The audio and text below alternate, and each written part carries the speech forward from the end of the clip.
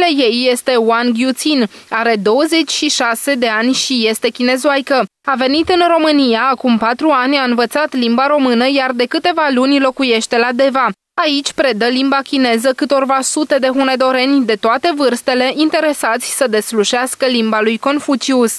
La început nu știam mm, foarte mult despre România și mm, am zis că să vin undeva în Europa și uh, prin istoria uh, am, știut, am știut și România și China e, are foarte mm, bună relație și am auzit și uh, românii sunt fa- foarte amabili. Am zis să vin, să văd cum e lumea aici. și cum e lumea aici?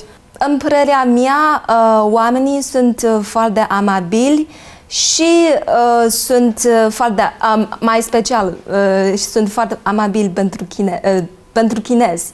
Și uh, îmi place, chiar îmi place aici.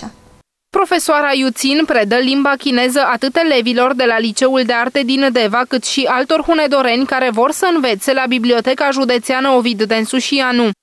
Lansarea cursurilor s-a făcut la începutul lunii noiembrie. La început uh, au fost înscriși 220 de cursanți.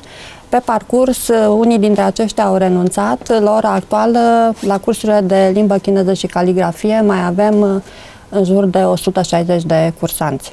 Printre hunedorenii care s-au hotărât să învețe tainele limbii chineze este Dan Popa.